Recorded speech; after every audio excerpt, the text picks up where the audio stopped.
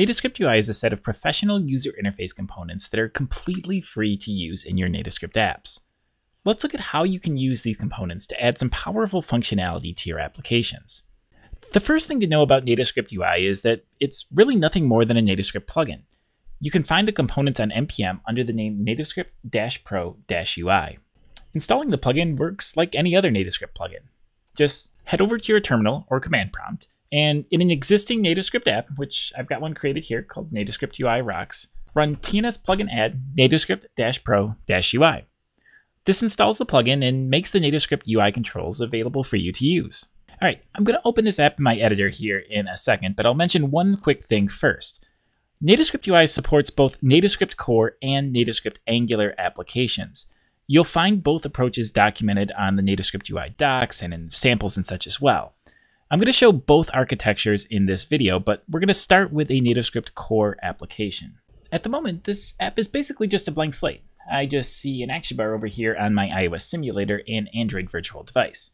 So let's do something fun.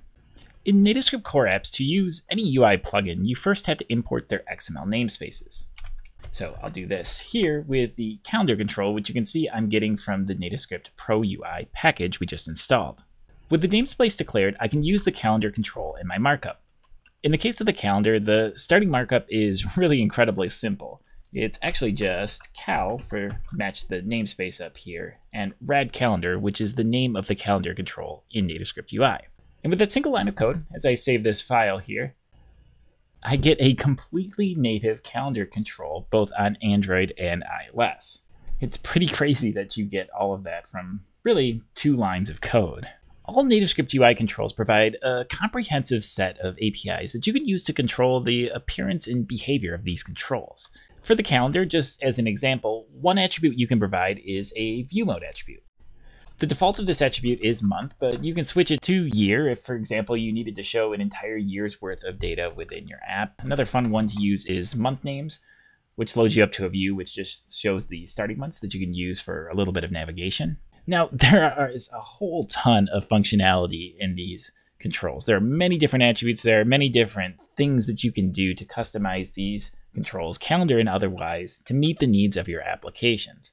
Now, personally, I think the best place to see all of the different functionalities sort of in one place is to use the official NativeScript UI sample applications that are available on GitHub.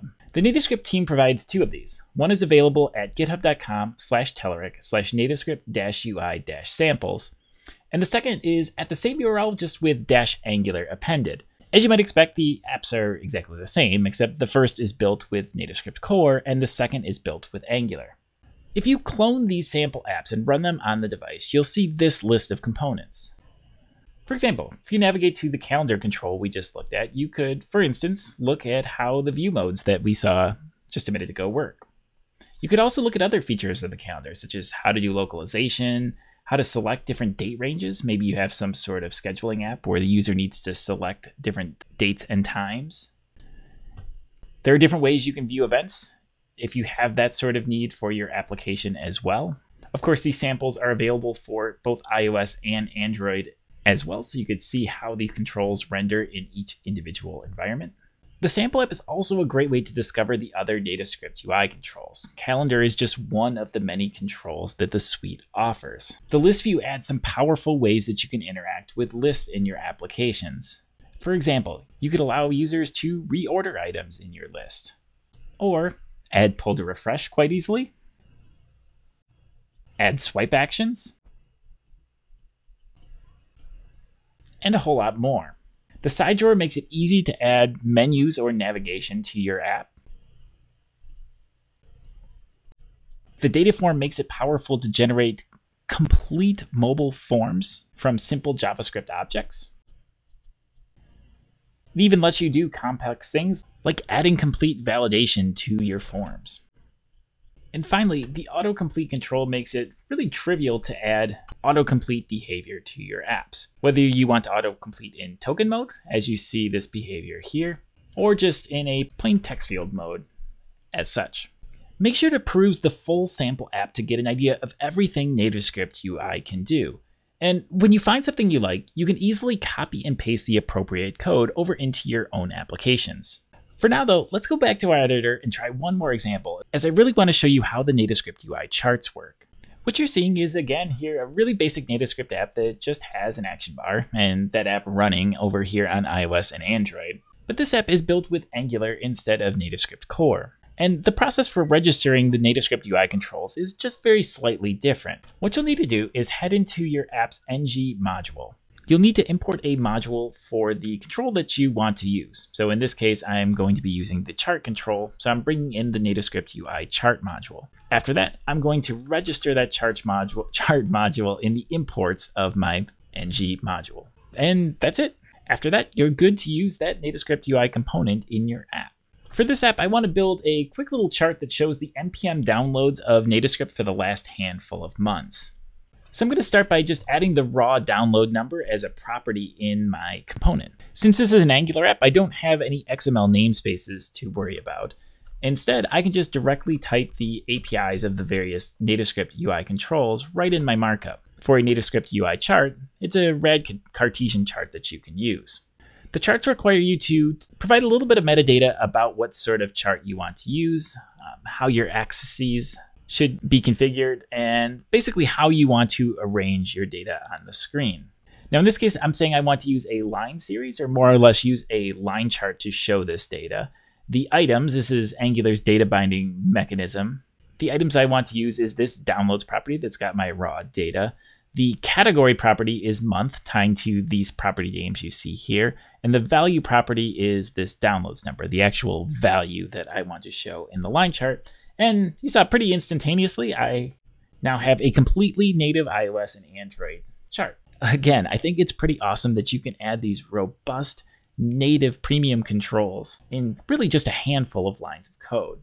And you can once again do a whole lot to configure these controls. This is probably more so of the chart than any of the other components in NativeScript UI. Just to give you a brief taste of this, I've got a line series right now, but if I instead wanted to show this as a bar graph, all I'd have to do is change this from a line series to a bar series. And I'd be seeing bar data instead. I could switch from a bar series over to an area series if I wanted to see that sort of chart instead. I could show multiple different data sets at the same time. So suppose I also wanted to compare, this is for the NativeScript package on NPM. If I also had the TNS core modules, which is a dependency of NativeScript apps, if I wanted to show this data side by side, I could throw this data into my component as well and just toss another series up here into where I'm declaring my chart. So I've got an area series that I'm going to show the NativeScript package, and then I'll show the TNS Core modules package, just sort of show this data side by side. And NativeScript pretty much instantaneously renders that data out. And we're really only scratching the surface. If we head back over to the samples app, you can get a, just a small taste of everything that you can do with these charts. For example, if I wanted to add legends to my chart. This is just another quick bit of markup that is all you really have to add. There's other series, so I showed bar, line, and area, but there is really just a crazy number of things that you can do with this control. So candlestick, bubble, you could do pie charts, you can do scatter plots. There's just a whole lot out there. Between all of these controls that are available, hopefully you've seen something that you think could really improve your own NativeScript apps. If you're ready to get started, head to the NativeScript UI documentation over at docs.telerik.com. There, you'll find the material I went over today on how to get started, how to install, how to get things up and running in your apps. You'll also find comprehensive documentation on each of the individual UI components, and you'll find them regardless of whether you're using Angular in your apps or if you're using NativeScript Core. So go ahead and give NativeScript UI a shot and let us know what you think.